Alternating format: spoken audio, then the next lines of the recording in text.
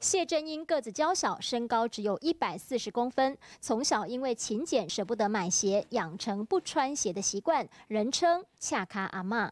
阿英啊，书这吼，每逐工做主者，啊分类好，伊就再卖。啊，伊卖钱就固定拢去这袋仔内面。啊，我等阮大川回收日的时阵，伊就摕来交。恰卡阿嬷大爱发心，回收所得全都做公益，但其实她的生活并不顺遂。听书的话吼，甘愿行吼，啊拍八折，啊若遐化解恶缘结善缘吼，啊无甘愿来加利息。不被困难限制，勇于突破障碍的还有她，陈秀英。从小听不见，也无法说话。自从开始做环保，参加读书会，人生就像重新开机。